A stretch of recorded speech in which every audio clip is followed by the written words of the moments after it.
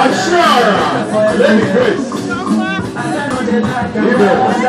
Prior to this day, my siblings will all be marrying Ebubo people. I think I'm the first to go out. Eze Chinyere Ibe-Enwo is from Ebonyi State. Kingsley Omadudu is from Delta State. They met at the University of Port Harcourt during their postgraduate studies. My wife is my wife. She's unique. Um, one thing I noticed about her that attracted me firstly is that she is a Christian and she's down to earth. Her simplicity was a major tool that pulled me towards her. There's one thing that attracted me to Kingsley, and that virtue he has never departed. He's a God-fearing man. He loves God. Every good parent's wish is to be alive to see this day. I feel so happy. You can see that I'm very happy. I'm glad and thankful to God. DJ,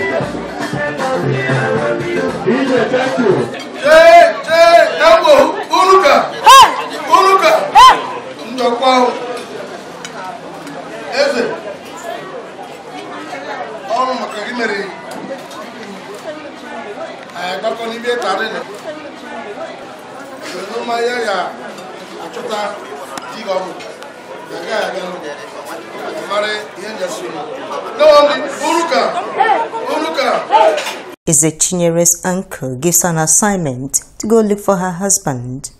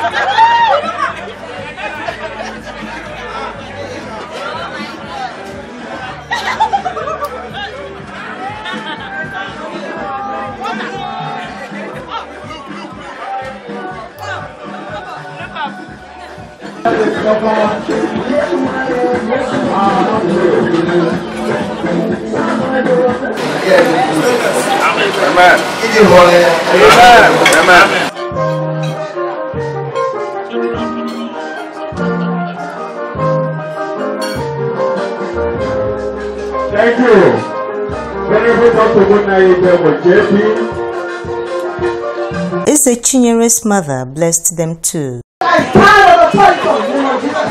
And I say, any weapon fighting against you will never prosper. Any tongue that rises, I condemn it in Jesus' name. Wrong. And. Kingsley Omadudu. Our son-in-law, our brother-in-law, our friend. Everyone wants them to be happy together forever. We have been cautioning them even before we come to this stage that nobody will settle their quarrel and the quarrel must not come out right in their bedroom. I told her, respect your husband. Whatever you are, he needs your respect. And he will love you unconditionally. So she knows when my husband was alive, he was my king. I respected him. And I was his queen. You know, everything I wanted he did for me because I gave him that respect. My counsel to them, I want them to give their lives to God. Two of them should love one another. There will be no quarrel. Everything will be peaceful. They should put God first for whatever they will do. If you want to excel in your marriage, let God be at the center. Because marriage is his original idea. I know for one that marriage is not an easy thing. Marriage is a very difficult institution. They need a lot of tolerance and understanding. Their marriage will be a blessed one that will flourish. They will have children and they will see their children, children, and what God has started doing in their life today, they will never cease. In Afibo culture, a bride is sent off with days. Traditional wedding hair is called Nkwanwite. Ezechinyere has made her family proud and they wish her a blissful marriage. Thank you, it is done. Congratulations to you.